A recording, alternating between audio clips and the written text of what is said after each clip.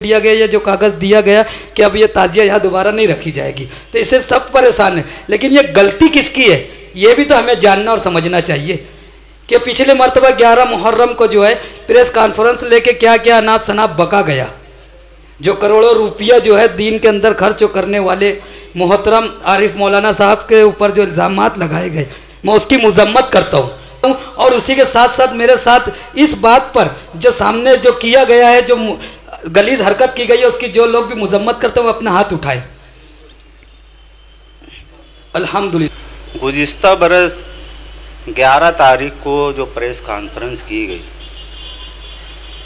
वो हम ताजिएदारों के लिए बड़ी तकलीफ़ दे पाते और शिया इसना श्री ट्रस्ट जो है, उस कॉन्फ्रेंस के बाद सुन्नी ताजिया कमेटी को बार बार फ़ोन की कि आप लोग आएँ और अपनी अपनी ताजिया लेकर जाएँ। मगर सुन्नी ताजिया कमेटी के जुम्मेदारान उन लोगों से, उन लोगों के पास नहीं गए। इतने काम के लिए दौड़े, भागे, परेशान रहे, घर को छोड़े, यह आप लोगों के सामने पेश किया जाएगा।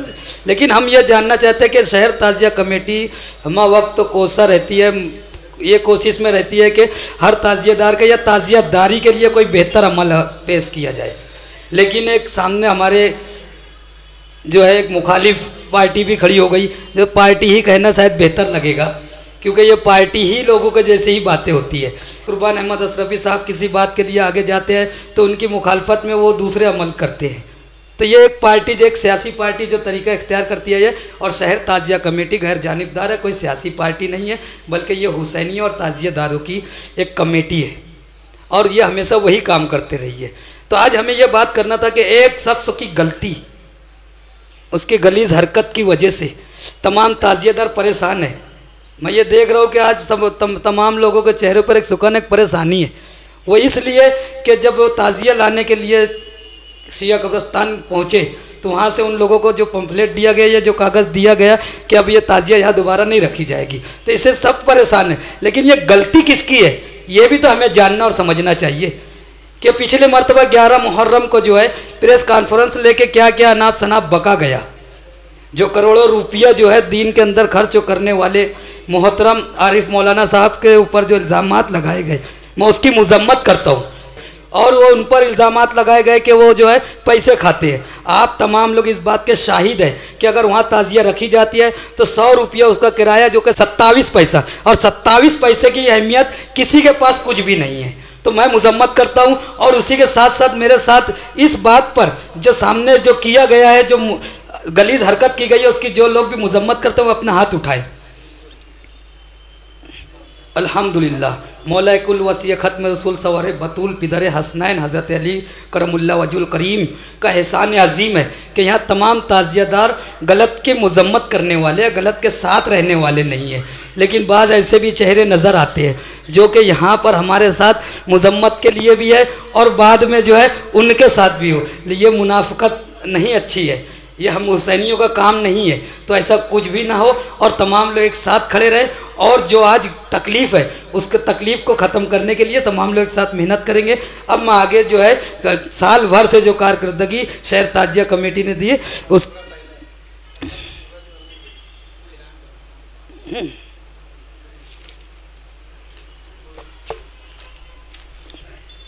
तो शहर ताजिया कमेटी के जनरल सेक्रेटरी कुर्बान अहमद गुलाम रसूल साहब को मैं आवाज़ दूँगा कि वो जो साल साल भर में जो भी शहर ताजिया कमेटी ने जो कुछ भी काम किया है, वो आप लोगों के सामने रखे।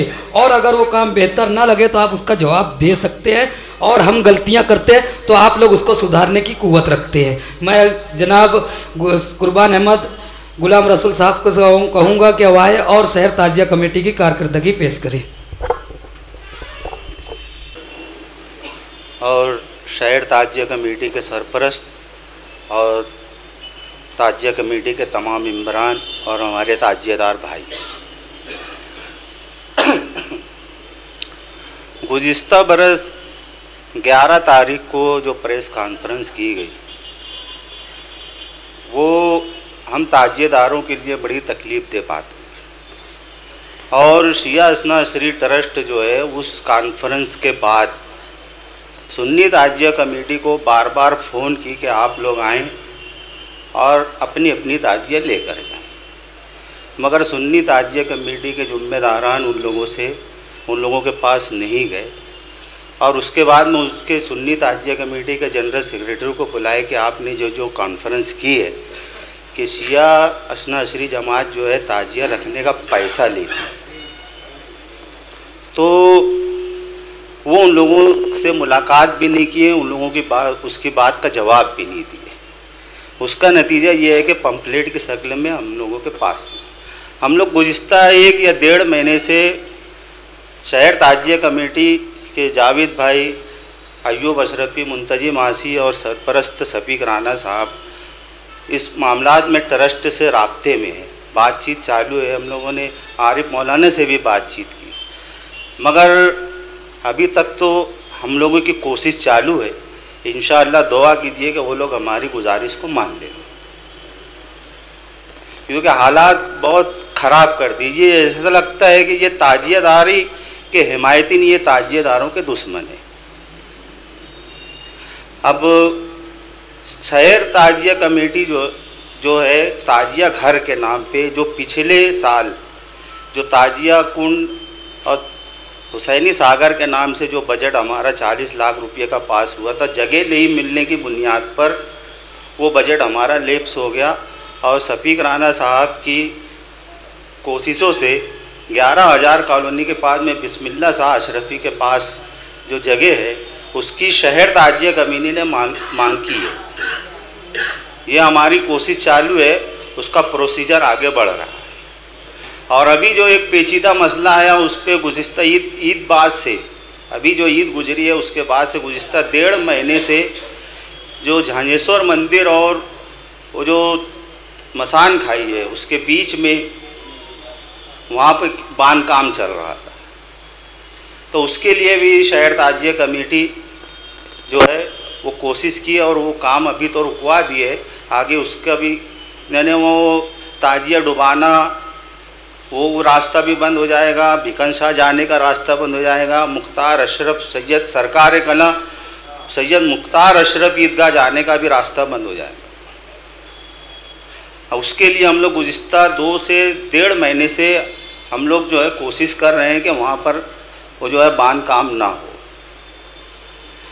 और बहुत से ताजिएदार ऐसे हैं जो हम लोगों से भी रबते में और उधर भी जाते हैं। तो मेरी ताजिएदारों से गुजारिश है कि जो वाकई में ताजिएदारी का काम करते हैं ताजिएदारों के लिए काम करते हैं, उनके साथ रहें। सिर्फ़ व्हाट्सअप फेसबुक अखबारबाजी करने वालों के साथ में ना रहे। मेरी आप लोगों से मुतबाना गुजारिश है। ये आप लोगों का नुकसान करने वाले लोग याद रखना और ये अभी तक नुकसान ये करते ही आए हैं। जहाँ शहर ताजिया कमेटी साने, साना बसाना एक दूसरे से एकजुट होके मसनरी से बातचीत करती है, काम को आगे बढ़ाती है, वहाँ पे अड़थड़ा डाला जाता है। पिछले साल भी जो लॉकडाउन का पीरियड हुआ, जो भी आधा किलोमीटर, एक किलोमीटर, दो किलोमीटर का जो जुलूस निकला, वो शहर ताजिया कमेटी की कोशिश थी। नहीं तो सुन्नी ताजिया कमेटी जो है, वो मान लेती कि हम जगह पे ताजिए को ठंडा करेंगे और हम हमारे घर में ही रखेंगे।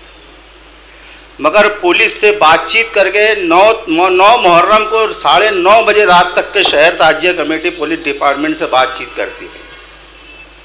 तो आप लोग समझे कि आप लोगों का काम आप लोगों के लिए कोशिश जो है शहर ताजिया कमेटी के अलावा कोई कमेटी नहीं करती। ये खाली अखबारबाजी व्हाट्सअप बाजी और फेसबुक बाजी करते अब फ़ोटो खिंचाओ और वायरल करो, फ़ोटो खिंचाओ, वायरल करो। काम जो है, शहर ताजिया कमेटी के लोग उस एरिए में मुबसर आसिर हुए और दूसरे बहुत से हमारे मकबूल भाई हुए, अनवर भाई हुए। ये कोशिश करते हैं, सब एक लाइन बनाते और पूरी मेहनत सुबह सात बजे से लेकर दस बजे तक करते और उनके सदर आते, फ़ोटो खिंचा के भाग जाते और वायरल कर देगी जैसे सबसे बड़े खिदमतगार वही लोग। तो आप लोगों से गुजारिश है, इतना ही मुझको कहना है कि आप लोग शहर ताजिया कमेटी के साथ रहें। बस इतना बोलकर मेरी बात खत्म कर।